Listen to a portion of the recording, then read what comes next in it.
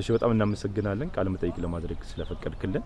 ዛሬ የተገናኘ ነው እዚህ ዘነበ ወርቅ ብሩህ ተስፋ ትምህርት ቤት ውስጥ ነው እና የሀምሳ አካባቢ የሚገመቱ የጎዳና ተዳዳሪዎችን በበጎ ፈቃድ የመሰብሰብ ስራ ጀምራችሁ በማስገባት እንቅስቃሴ ላይ ያገኘ ናችሁ። እስቲ ከዛሬ እንጀምር። እንዴት ነው ዛሬ አቀባበሉ እንዴት ነው?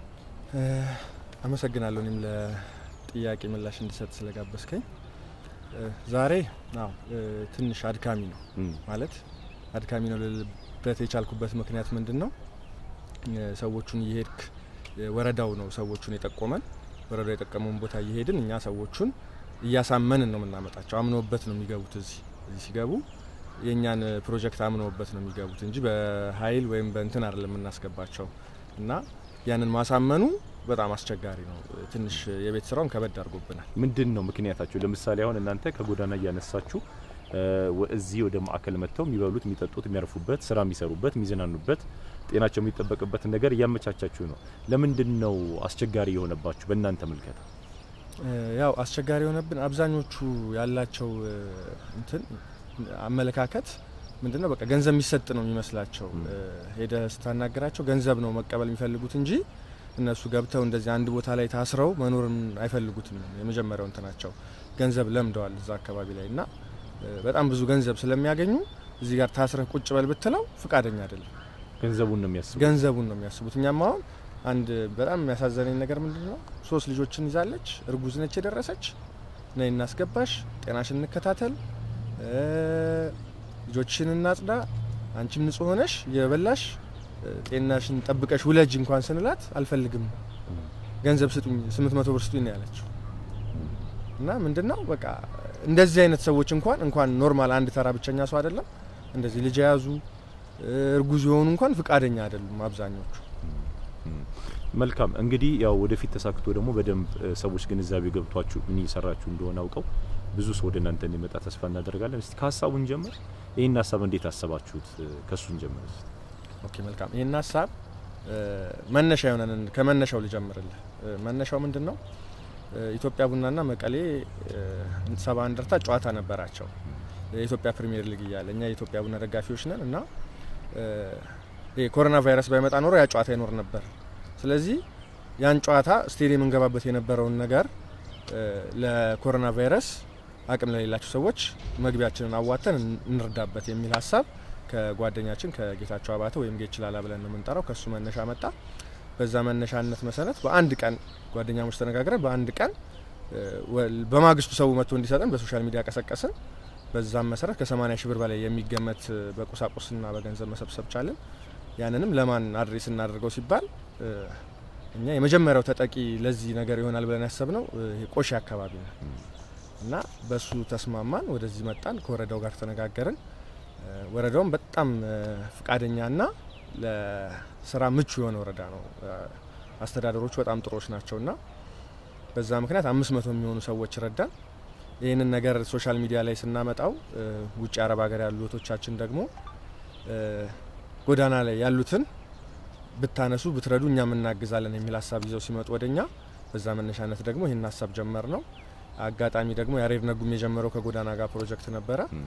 እሱን ሄደን አወራ ነው እና እሱም የኛ ሀሳብ ተስማማውና የእናንተ ሀሳብ ከኔ ሀሳብ ይገዝፋል በማለት የእሱንም ፕሮጀክት ወደ እኛ ዙሮት በጋራ ከእሱ ጋር እየሰራን ያለ ነው። ምን ያህል ወጣቶች ናቸው? አሁን አርቲስት ያሬድ ነጉን ጨምሮ ምን ያህል ሰዎች ናቸው በዋናነት ይህንን ፕሮጀክት እያስተባበራችሁ ያላችሁ? በቃ በስራ በጉልበትም ምናምን ከኛ ጋር አብረው እየሰሩ ካሉት ጋር ጨምሮ almost ወደ ሀያ ሀያ አምስት እንሆናለን በአጠቃላይ ይሄ ፕሮጀክት አሁን እንግዲህ እዚህ ብሩህ ተስፋ ትምህርት ቤት ውስጥ ተጀምሯል። ምንድን ነው የኮሮና ቫይረስ ስርጭት ሲቆም ወይም ደግሞ ኮሮናን መቆጣጠር ሲቻል እነዚህ ሰዎች ወደ ጎዳና ነው የሚመለሱት ወይስ ቀጣይ እቅድ አላችሁ? አይመለሱም። ስንነሳበት መጀመሪያ ታርጌታችን የነበረው እኛ አሁን በሽታው ቢስፋፋ ቢሰፋ ወደ ቤት መግባትና ቤት ውስጥ መቆየት ልንወስን እንችላለን። መንግስትም ሊያስገድደን ይችላል። ግን ጎዳና ላይ ያሉት የት ይሆናሉ በሚል ነበር የተነሳ ነው እና ቢያንስ ይህ ቫይረስ ከሀገራችን እስኪወጣ ሰላም እስኪሆን ብናቆያቸው ብለን ነበር ያሰብነው። ከዛ ግን ስናስበው ከሆነ ጨለማ ከሆነ ነገር ላይ ወደ ብርሃን አምጥተናቸው ተመልሰን ደግሞ ወደ ጨለማ መመለሱ ከበደንና plan B የሚባል ነገር ማሰብ ጀመርን። በዛም እዚህ ወረዳው ላይ ያሉ ባለሀብት አናግረን እሳቸው ከዚህ ትምህርት ቤት እንኳን ትምህርት ተጀምሮ ብንወጣ የእሳቸው ቦታ አለ ብዙ ሰዎች ማኖር የሚችል እሱም ቦታ እንደ plan B እንድንጠቀምበት ቃል ገብተውልናል። ስለዚህ ይቀጥላል።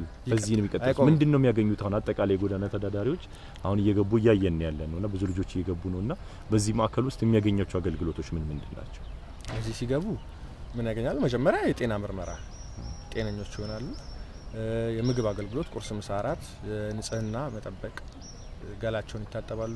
ክትትል የተደረገባቸው ምግብ ቦታ ላይም እንደ ሰለቹና እንትን እንዳያሉ የቴሌቪዥን ምናምን አቅርቦት አድርገንላቸዋል። ዲሽና ቴሌቪዥን አስገብተንላቸዋል።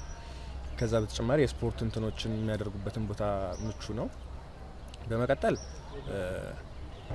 አይተናቸው አይምሯቸው ዝግጁ ሲሆን የሳይኮሎጂ እገዛ አድርገንላቸው የስራ እድል የሚያገኙበትን ከወረዳውም ወረዳው ላይ ካሉ ባለሀብቶች ጋርም እንዲቀናጅ አድርገናል እና ወደፊት ምንድነው እኛ እዚህ ጋር ያሉት ሰዎች መስራት የሚችሉት እገዛ አድርገንላቸው ስልጠናም ሰጥተናቸው ቢሆን ወደ ስራ ውስጥ የሚገቡበትንና ራሳቸውን ችለው ተከራይተው መኖር የሚችሉበት ራሳቸው ማስተዳደር የሚችሉበት በሚቀጥለው ደግሞ በእነሱ ቦታ ሌላ ሰዎችን አምጥተን እነዛንም እንደዚህ ሮቴት እያደረግን እኛ በምንችለው ሀምሳ መቶም አንድ ሺህ እያልን የቻልነውን የጎዳና ተዳዳሪ ለመቀነስ እንሞክራለን።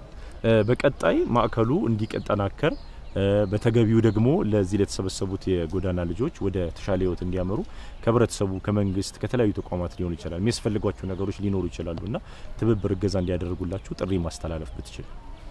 ምንድን ነው አሁን እኛ እዚህ ጋር ያለን የምግብ የልብስ እንትን በጣም እጥረት አለብን። አሁን ለሰብአዊነት ጥምረት የሰጠን አብዛኛው ይሄ መኮሮኒ፣ ፓስታ፣ ሩዝ አይነት ነገሮች ናቸው። ሁሌ ደግሞ በሱ እንትን አትልም። የእንጀራ ነገሮችንም እንትን ትላለህ እና እነ ምስር፣ አተር፣ እነዚህ ደረቅ ነገሮችን ሽሮ፣ በርበሬ፣ ጤፍ የመሳሰሉትን ነገር መርዳት የሚችሉ ካሉ ቢረዱን ደስ ይለናል። የንጽህና መጠበቂያዎች እነ ሞዴስ፣ diaper፣ wipes አይነት ነገሮችን የሚያግዙን ካሉ ቢያግዙን ደስ ይለናል።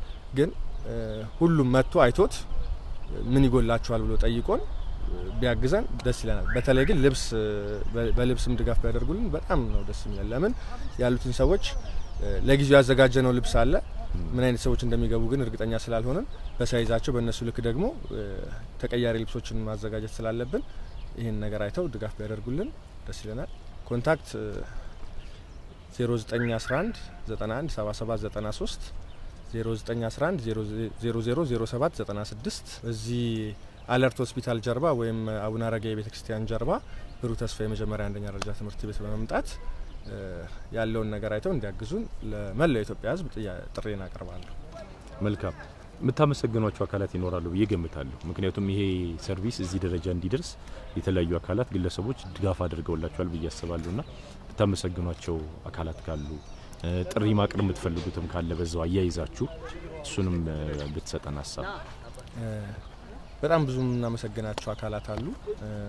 የመጀመሪያው ከሀሳቡ አመንጮች እነሳለሁ። ሀሳቡን ያነሱትን እዚህም ያሉት የኢትዮጵያ ቡና ደጋፊዎች፣ አረብ ሀገር ያሉ እህቶቻችንንም ከልብ አመሰግናለሁ። በመቀጠል አርቲስት ያሬድ ነጉ ከኛ ጋር የእናንተ ሀሳብ ጥሩ ነው ብሎ መጥቶ ወደ እኛ ከኛ ጋር እየሰራ ስለሆነ ከልብ አመሰግነዋለሁ። የወረዳው የክፍለ ከተማው ኮልፌ ቀራኒዮ ወረዳ አንድ እንዲሁም ክፍለ ከተማው ስራ አስፈጻሚዎቹን በጠቅላላ እናመሰግናለን። ብሩህ ተስፋ ትምህርት ቤት ዳይሬክተሩን አቶ አዝመራውን እንዲሁም ሰራተኞቹን በማቀጠል መላው የኢትዮጵያ ቡና ደጋፊ ለሰብአዊነት ጥምረት በና ያሬድ ሽሜቴ ለሚመራው ላደረጉልን እገዛ ከልብ እናመሰግናለን። አቶ ሙደሲር ይባላል ባለሀብቱ ብዙ ድጋፎች አድርጎልናል ከፍራሽ ጀምሮ እና እነሱንም በጣም አመሰግናለሁ። መላው የኢትዮጵያ ሕዝብ ሀሳባችንን አይቶ እንደሚወደው እርግጠኛ ነኝ። ከተጋገዝን ማሸነፍ እንችላለን።